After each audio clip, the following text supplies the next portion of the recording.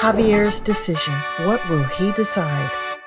Kids today have so many distractions that prevents them from thinking about their future. There's smartphones, social media, television streaming services, and virtual gaming. It's a wonder they get anything done.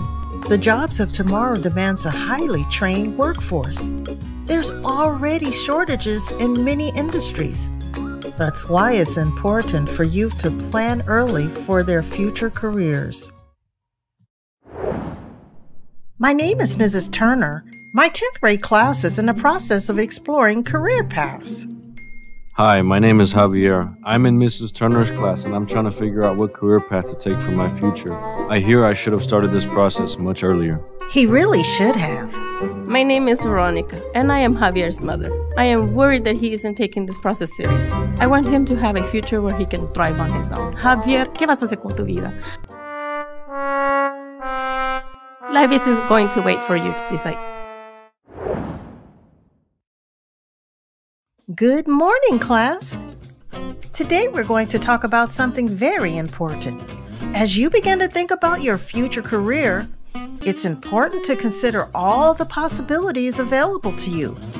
While college might be the traditional path for many, skilled trades offer an excellent opportunity for those who prefer to work with their hands. How many of you know what career you would like to pursue?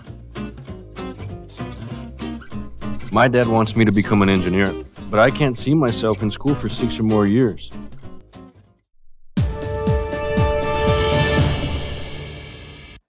According to data from E3 Alliance, students have only a 12% chance of earning a living if they don't complete a post secondary credential within six years of high school. Those aren't good odds. Some parents we interviewed expressed concerns that their kids might not have the opportunity to grow but they can climb the ladder.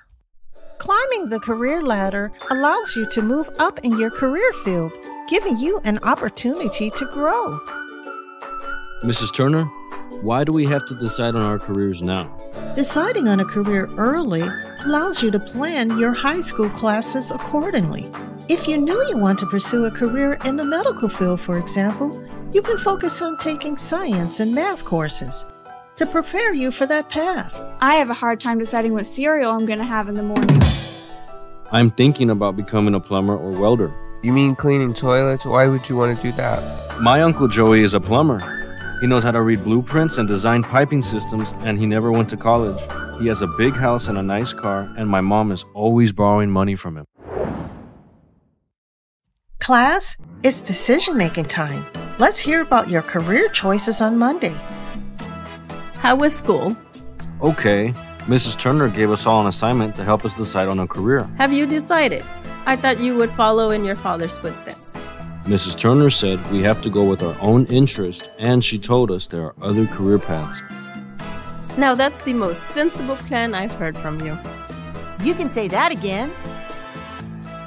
The class visited various industries last week. They all had an opportunity to see a variety of industries hands on.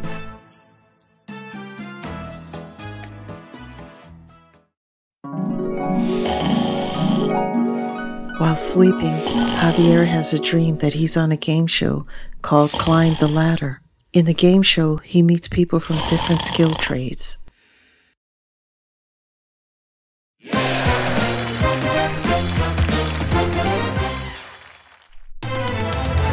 Hello, everyone, and welcome to Climb the Ladder. We have a kid from Austin named Javier who is trying to make a decision about his future. We entered his dream to help him decide. Let's welcome our host, Peachy Paulette Green. Good morning, everyone. I'm so happy to be here today. Looks like Javier has some decisions to make. Since this is a dream, we'll forego all the formalities and get right into it. Paul, Javier told his mother he wants a job where he can work with his hands. So I'm an electrician. I finished a registered apprenticeship program, and after years in the field, I became a site manager for an architecture firm. Javier, I'm a welder. I worked on military ships for years before starting my own business building container homes. I use BIM software to design the floor plans and make models for the homes. Pick me. Pick me, Javier. I'm an HVAC technician, which stands for heating, ventilation, air conditioning, and refrigeration. I install, maintain, repair, or replace air conditioners, ventilation units, refrigeration equipment, and more.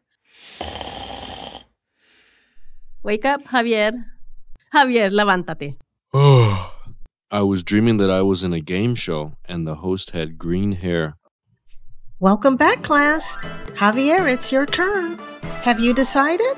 I want to become a welder, and even if I decide it's not for me, I could advance by climbing the ladder to become a project manager, an estimator, a CAD designer, or a welder. Looks like you're headed for a great future.